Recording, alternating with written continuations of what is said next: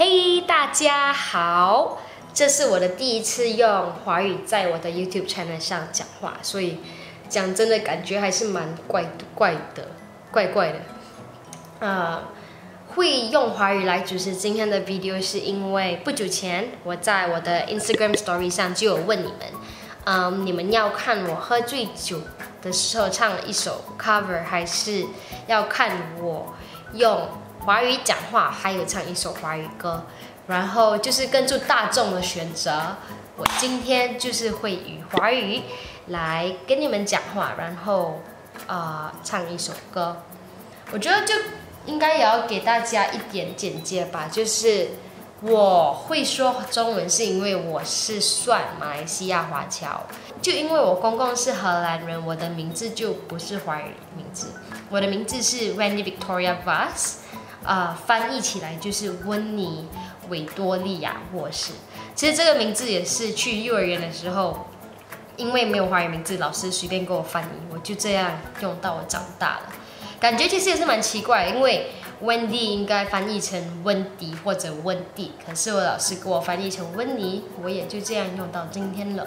就是这样子讲的话，就是。啊，我是四分之一的荷兰人，可是三分之一的马来西亚华侨。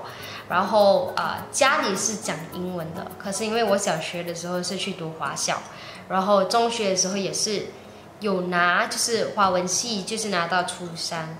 跟我的马来西亚朋友，其实很多都是说马来西亚的中文，可是。我现在是尽量的在用比较标准的华语，因为感觉有些大学同学可能台湾中国人都在看这个 video，所以想要用比较标准的华语才比较听得懂我在讲什么。对，今天选择跟你们唱的一首歌就是啊，庾澄庆的《情非得已》。